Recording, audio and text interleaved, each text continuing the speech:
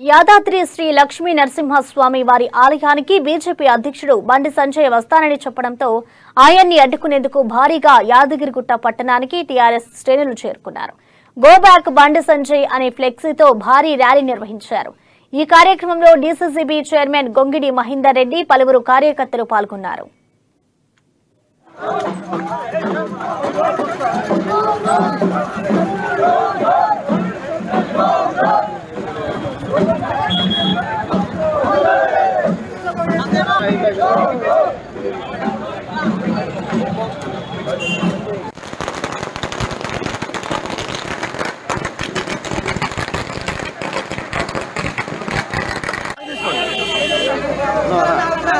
Anil పక్కజారు Anil.